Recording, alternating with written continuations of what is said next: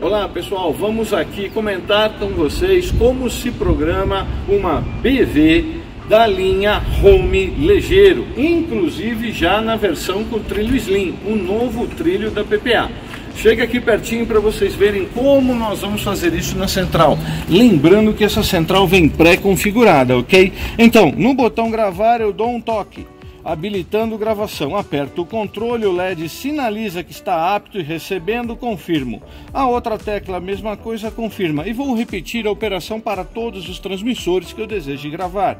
Para sair do modo de gravação, 4 segundos no botão GRV, o LED indica pronto, sair, um comando. Dou o comando, a máquina automaticamente começa a fazer o reconhecimento de percurso Sempre lembrando, stop de fim de curso, de fechamento e de abertura posicionados, porque essa máquina trabalha linha ligeiro PPA exclusivamente por encoder PPA e código rolante PPA para sua segurança e segurança do seu cliente.